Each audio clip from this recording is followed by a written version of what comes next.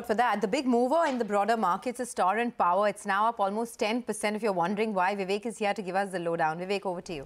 Well, absolutely right. You know, it's been a very strong set uh, by the company. You know, there's been uh, broad-based growth across most of the verticals, uh, like you mentioned. Uh, so profitability by almost 86% on a year-on-year basis, and margins too, despite that, has come in quite strong at 22.4% against 24.8% last year, last time around. what is it that has led to the strong growth? Uh, in fact, you know, there was a gas trading gain of close to 400 crore in this particular quarter that aided the bottom line. And when you're talking about the growth seen, the EBITDA contribution came in from all of the segments. So gas-based power trading business, uh, uh, you know, the renewables business, the distribution license, as well as the franchisee business, all of them aided.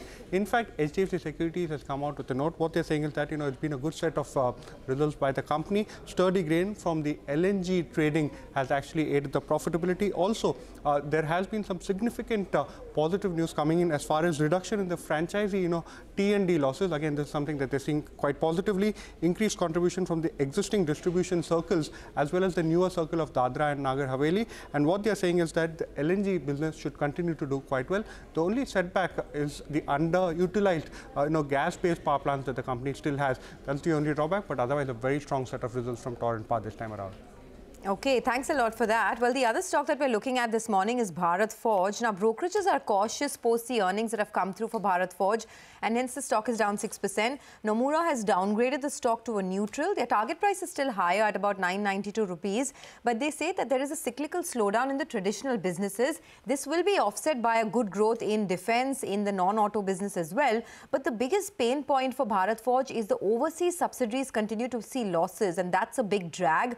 The stock is also trading at around 14 times FY25 EV to EBITDA. The valuations are fair, is what Nomura believes.